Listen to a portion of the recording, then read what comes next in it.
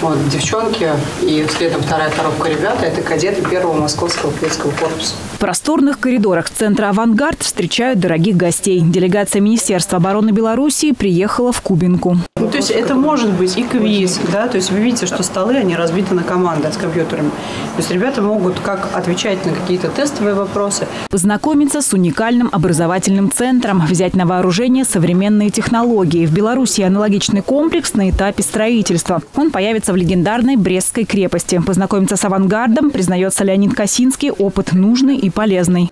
Мне понравилось в первую очередь отношение э, людей, отношение педагогов, которые каждый на своем учебном месте представлял возможности той учебно-материальной базы, которая есть, которая используется в обучении и воспитании. Хорошая учебно-материальная база, кабинеты авиаподготовки, виртуальной стрельбы, спортивные площадки, максимально реалистичные тренажеры. И это далеко не все возможности, которые может предоставить «Авангард». Однако теперь в нем смогут обучаться не только российские дети. Я уверена, что наша площадка, площадка нашего авангарда на территории парка «Патриот» подмосковной Кубинке может стать отличным местом, которое примет школьников из Беларуси, а наши школьники Москвы и Московской области смогут с большим удовольствием посещать тот центр начальной военной подготовки, который будет создан на территории Брестской крепости.